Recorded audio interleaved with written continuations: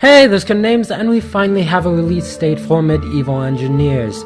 So, both on their Twitter and Facebook pages, they posted that it will be coming out February 19th, a Thursday, conveniently with the Thursday update. So, my plans for the 19th are getting it as soon as it comes out, and then putting up a 15 minutes first impressions of it as soon as I get to playing it. So, I already apologize, I won't be editing that It'll just be the first 15 minutes of practically everything that you go through in the first 15 minutes.